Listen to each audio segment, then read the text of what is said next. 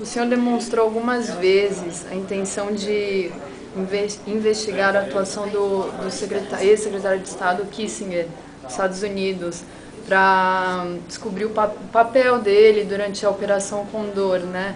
É, quais evidências a gente tem sobre o apoio dado dos Estados Unidos à operação no, no continente latino-americano, né? E quais provas disso, né, a gente tem? Bueno, realmente nunca se planteó, ni se me planteó la investigación contra Henry Kissinger. Es una afirmación que se ha hecho realidad pero que nunca existió.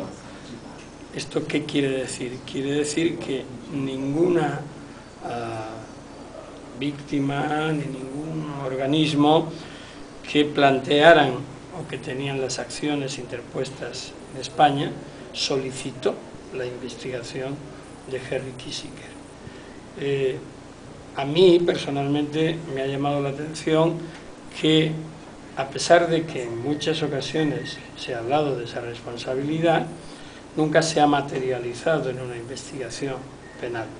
Por tanto, la respuesta a la pregunta es, nunca me plantearon la investigación contra Kissinger. Es verdad que hubo una petición de una posible declaración como testigo en uno de los casos en España, en el caso Pinochet.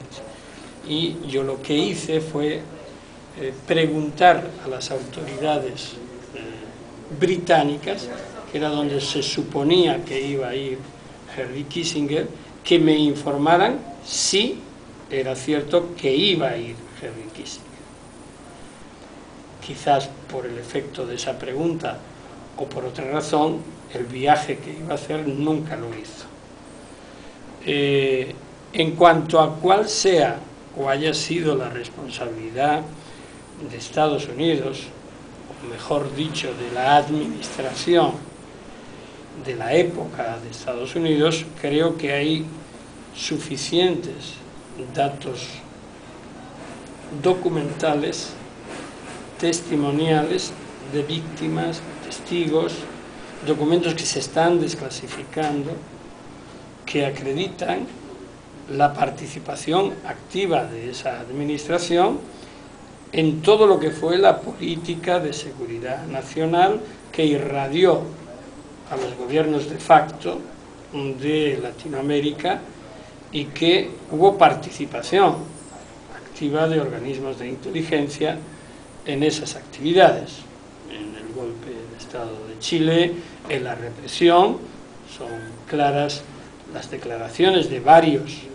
implicados, como la de Tonley, que era un infiltrado dentro de la DINA, que como saben era el mecanismo de inteligencia de tortura y de desaparición más eh, claro de la dictadura pinochetista. Asimismo en otros países de Centroamérica. Poco a poco se va develando con la desclasificación de documentos cuál fue ese papel que desde luego está por definir judicialmente. Ningún país todavía ha hecho esa investigación. No sé si se hará o no, pero en todo caso es necesario que quede clarificada en todos sus ámbitos. Tengo una ah, ah, ok. Baltasar, si usted percibe algún cambio como en los temas de la agenda de los derechos humanos en los últimos 10 o 15 años y, y si también nota un protagonismo particular de Brasil en este nuevo escenario. La primera parte de la pregunta se refiere a Brasil o en general? En general, y la segunda en particular a Brasil. Bueno, la, yo he dicho hace un, un momento que percibo un, claro y decidido apoyo a la lucha en pro de los derechos humanos desde organismos internacionales. Naciones Unidas está claramente definida en sus comités contra la tortura, contra la desaparición forzada de personas, minas antipersonales, niños, etcétera, detenciones arbitrarias, en los que clarísimamente eh, sus recomendaciones son cada vez en forma más clara llamadas de atención a los estados. La importancia de estas mm, decisiones, como también la de los relatores, es que, aunque no son vinculantes, cada vez cobran más legitimidad, más credibilidad, más fuerza, como también la sociedad civil que los está empoderando. Y eso implica que hay países que asumen esos informes como indicaciones que deben ser cumplidas y a su vez, si así optan, pueden cuestionar a aquellos otros países que no lo hacen.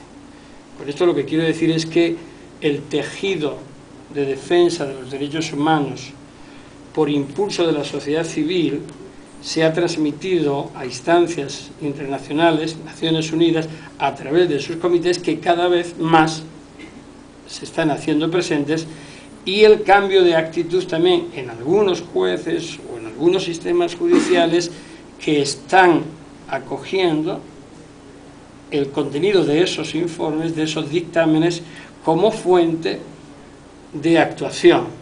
Recuerdo que por primera vez en España se utilizaron esos informes en el caso de Pinochet y de Argentina, que lo hice yo.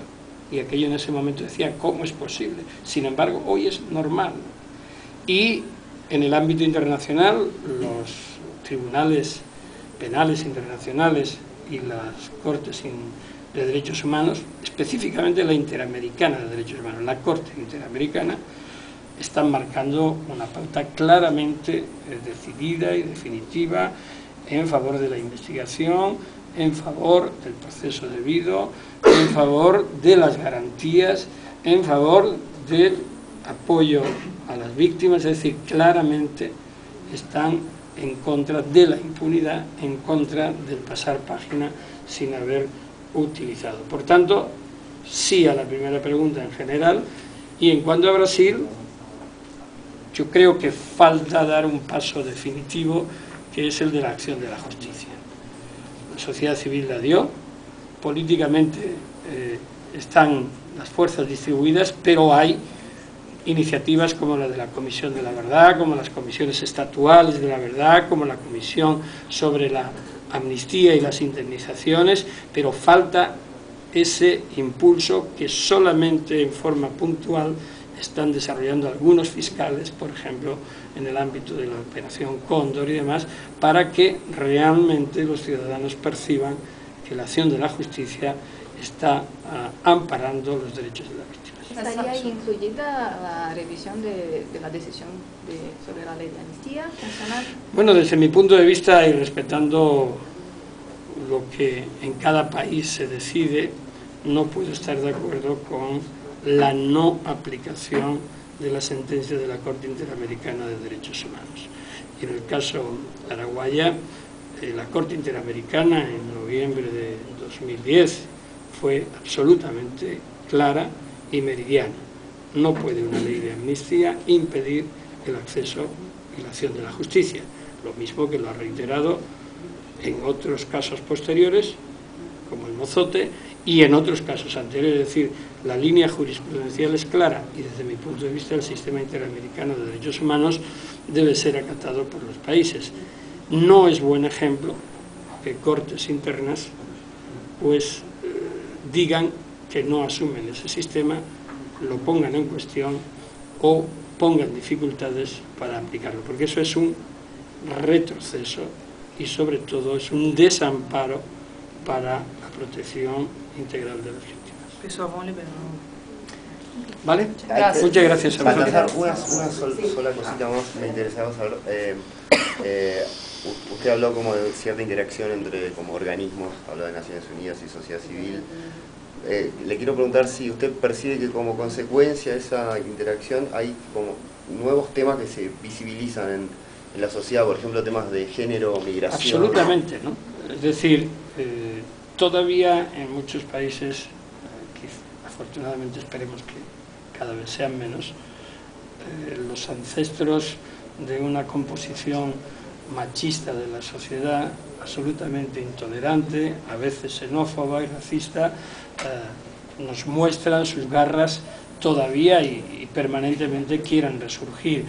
Pero yo creo que la doctrina emanada de organismos internacionales y también de tribunales eh, internacionales y de algunas cortes constitucionales de diferentes países están marcando el ocaso de esas eh, legislaciones y actitudes intolerantes. Eh, es incomprensible, inaceptable hoy día, siglo XXI, que se sigan produciendo casos en los que se discrimine por razón de sexo, se discrimine por razón de orientación sexual o que todavía se estén debatiendo cuestiones como las del aborto, como las del el derecho a decidir sobre el propio cuerpo, etc. ¿no? Creo que al margen de la posición religiosa que tenga cada uno de ellos, otra cosa son los derechos humanos y los derechos civiles que deben de ser los que rigen en estados que son no confesionales y laicos.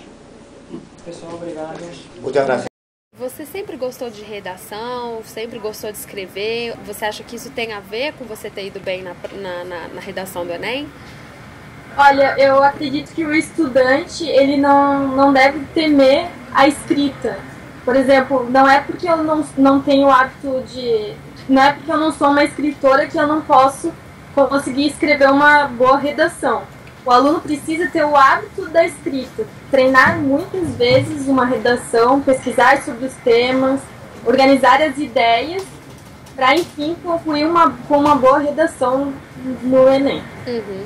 Você treinou muito a redação do Enem? Você acha que vale a pena é, escolher alguns temas e treinar em casa antes da prova?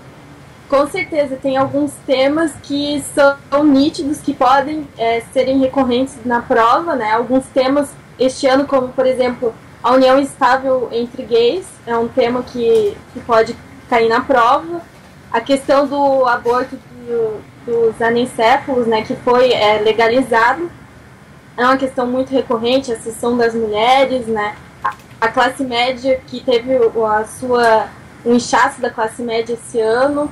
Alguns temas são muito recorrentes, até eu queria ressaltar para que os alunos que estejam me ouvindo, se não pesquisaram ainda, pesquisem um, um pouco sobre a questão da sustentabilidade, pois este ano uhum. nós tivemos é, a Rio Mais 20, que foi um evento mundialmente é, assistido, e o Brasil teve um importante processo, né, uma, uma importante participação nesse processo.